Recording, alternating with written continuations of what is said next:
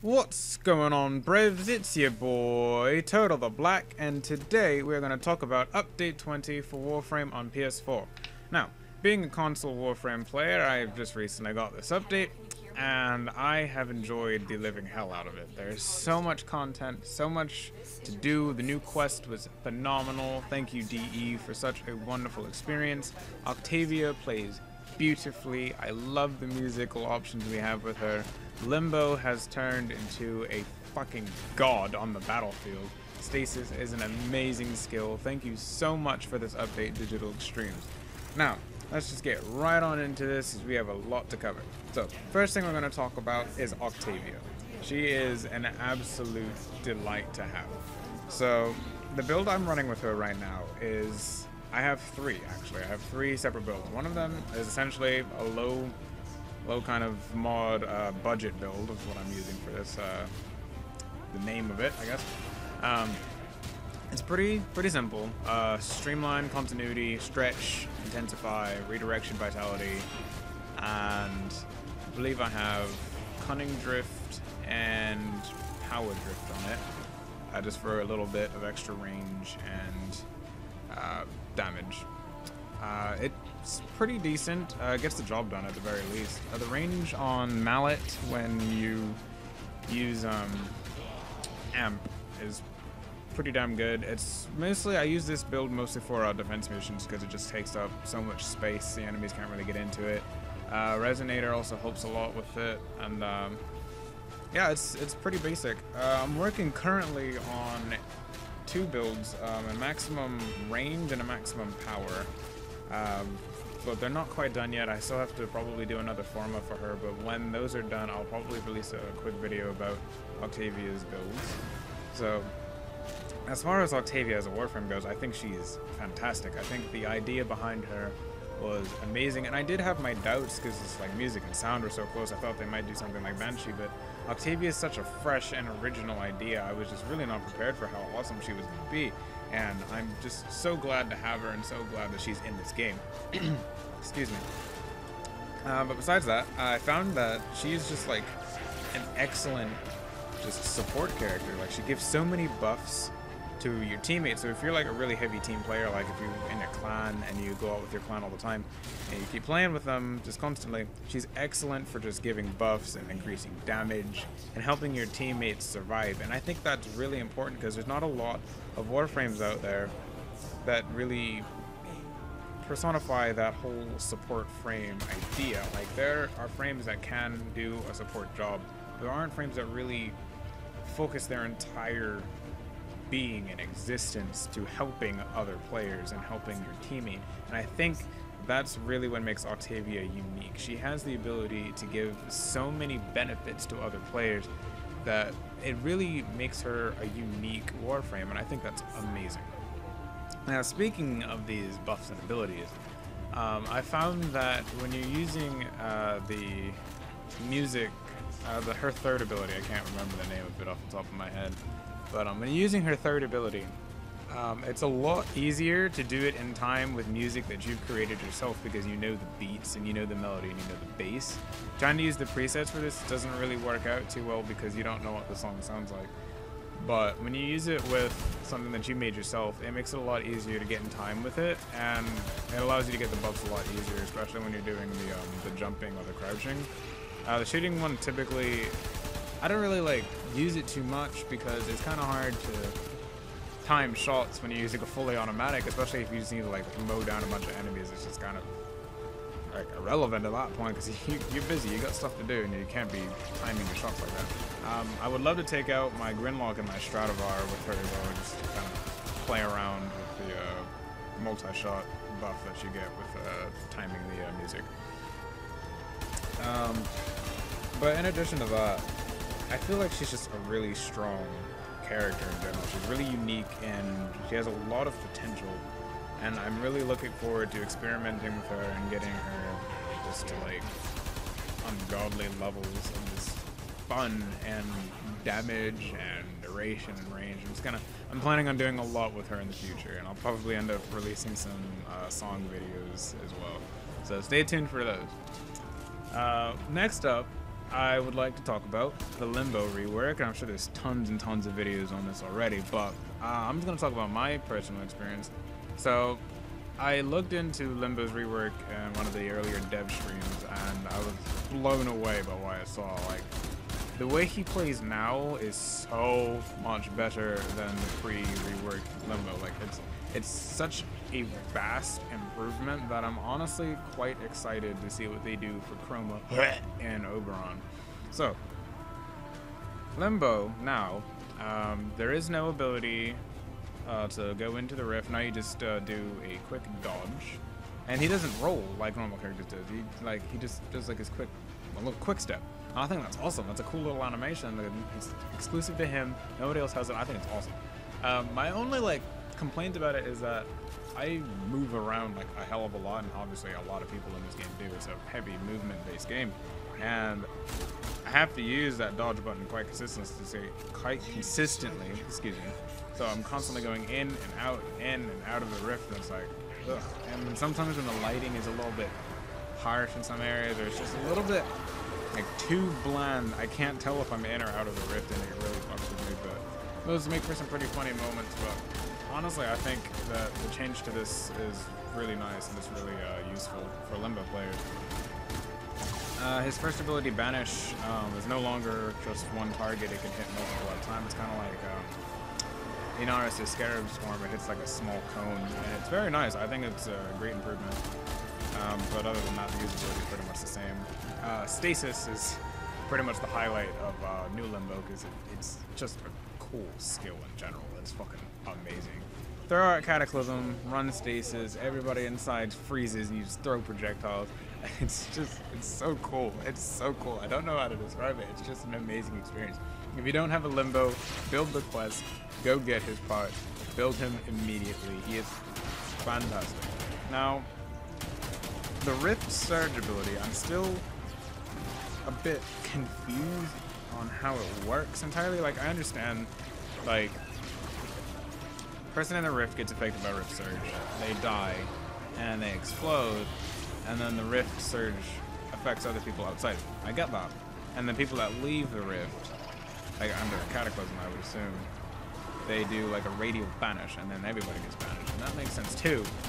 But what I don't understand is like how it, like when I try to cast it, it doesn't really affect anything. Like, I don't know if I need to be in or out of the rift when I use it. And the same thing goes with banish. Like, if I'm in the rift, I can't banish people to the rift while I'm in it. I don't know if that's a bug or a glitch or if that's the way that's supposed to go, but that seems really weird because pre-rework Limbo could do that.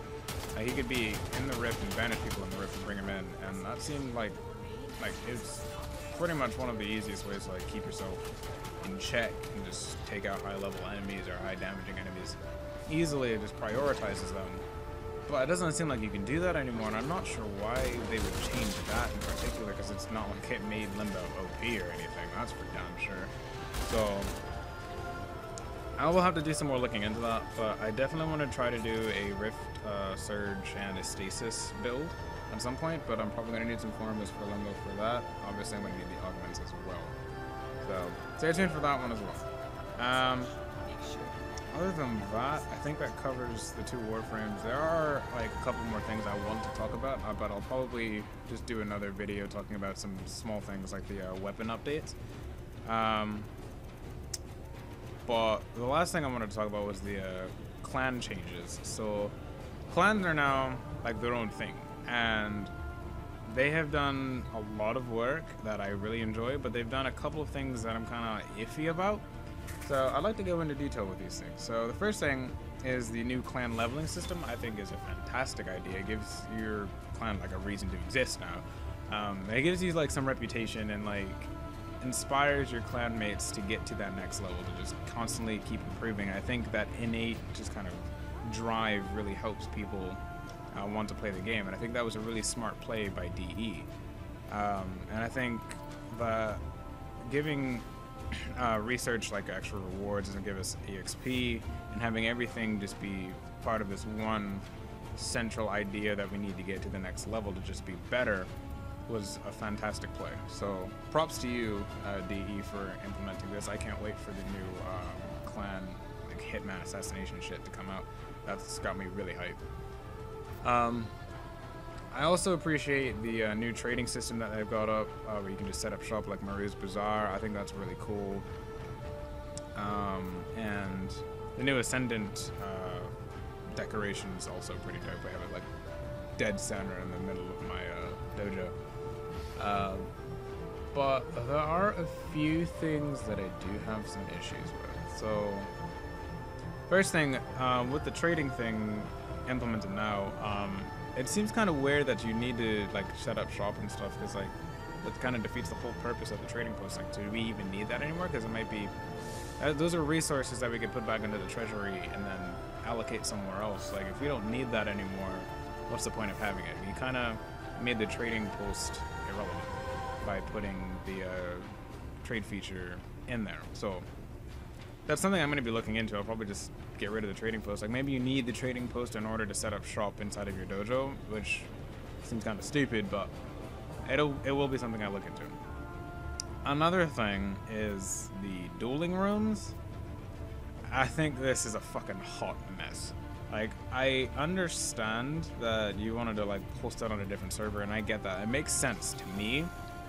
But the way the system works is just, it's all over the place. Like, you can't invite people to, like, an individual dueling room unless you're the host.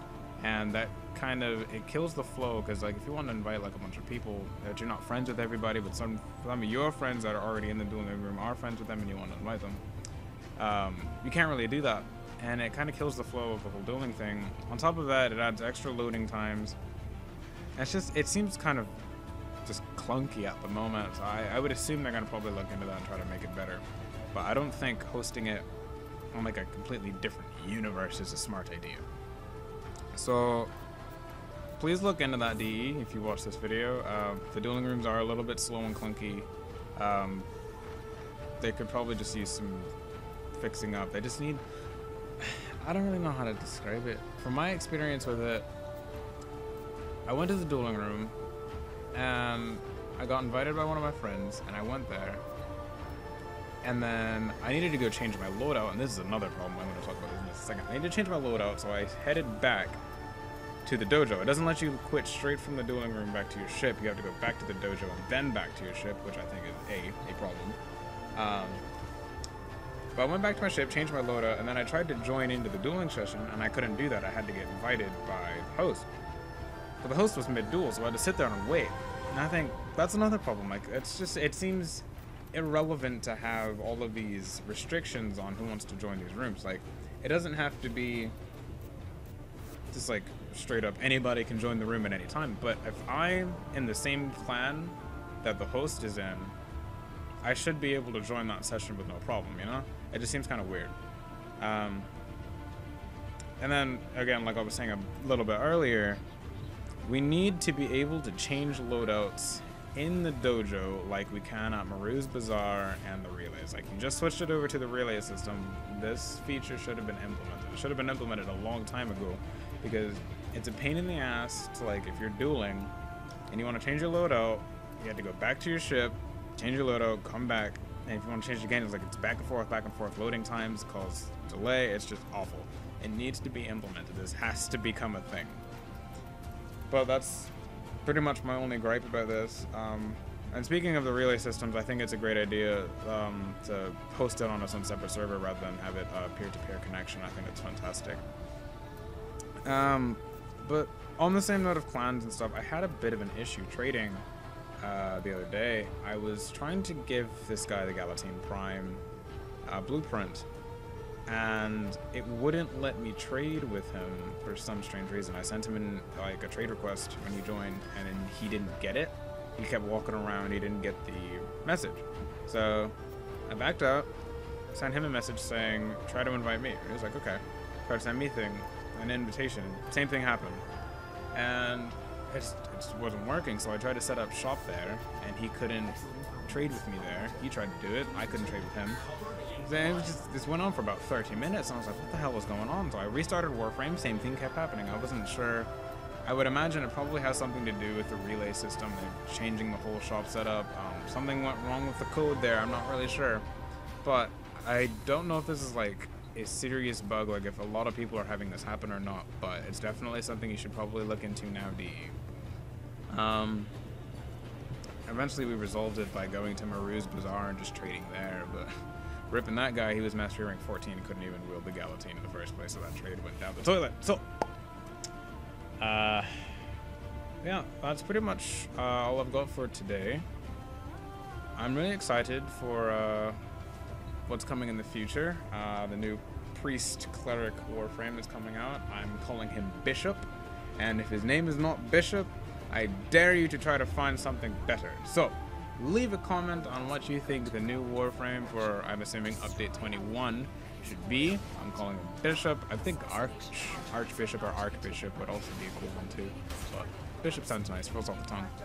Uh, but yeah, leave a comment uh, saying what you want the new Warframe's name to be, and do some theory craft. Like, what, what's he gonna do? What's his abilities gonna be? Like, leave some comments.